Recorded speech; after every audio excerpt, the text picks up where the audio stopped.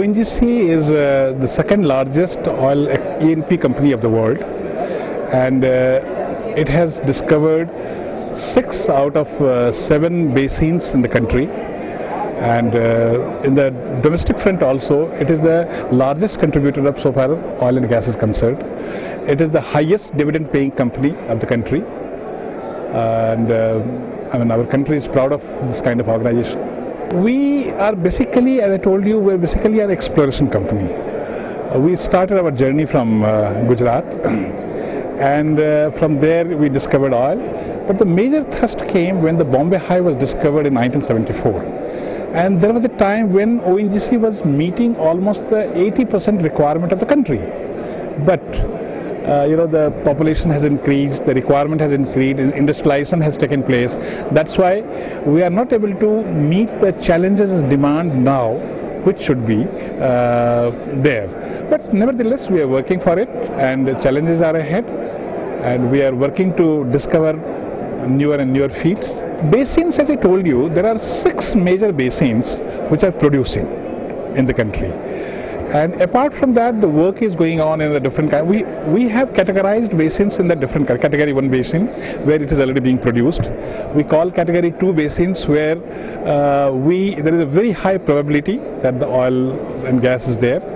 Then category three basins, yes, there is possibility, but uh, still more work has to be done and then called category 4 basin. Category 4 basins means uh, not much of possibility is there, but then still exploration, you know, is an ongoing process. So that way we have divided the basins into four category. And uh, our exploration people are working day in and day out to en enhance the might of the nation. Turnover, uh, uh our turnover picture figure exactly I might not be able to tell you, but our net profit post-tax profit uh, is uh, more than 16, 17,000 crore. That itself is uh, one of the very highest figure.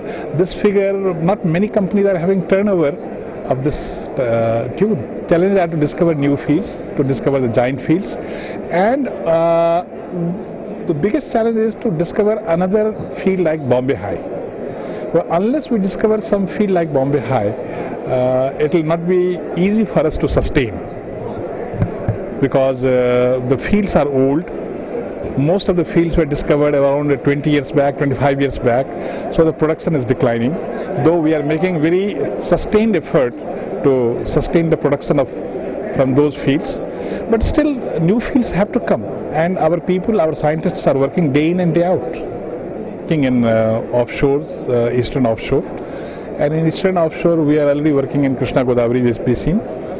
So we have Krishna Godavari basin, then we have Mahanadi basin, then we have Andaman basin. So work is going on because it is it cannot be set for surety. For exploration, there is no technology in the foolproof technology where you can put the gazette and you can say that yes, there is an oil. So it is uh, technology coupled with intuition. So we are, we are, we are working in that direction and we hope that uh, God willing, uh, some major discoveries will come, will definitely come. Targets means uh, we signed target with uh, ministry and we have been uh, uh, achieving that target. But you're talking about the major discovery which can reduce the gap between our purchase from outside and our production here. So that will definitely, that is an ongoing process. we have to be a little bit lucky also and uh, we are not lagging anywhere in our efforts.